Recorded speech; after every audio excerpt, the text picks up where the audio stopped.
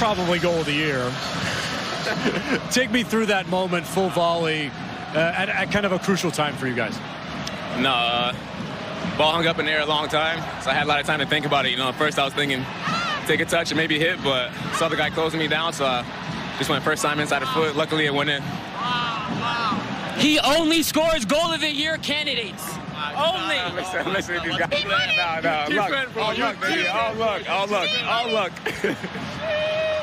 Uh, we're in good company. It's a huge, emphatic win as well. How much did the result in Sporting Can- at, at, Sporting Kansas City kind of help stop the bleeding a little bit, and then get you to tonight to be able to be successful, get three points? No, I thought it was huge. Before before the Kansas City game, we had lost three in a row.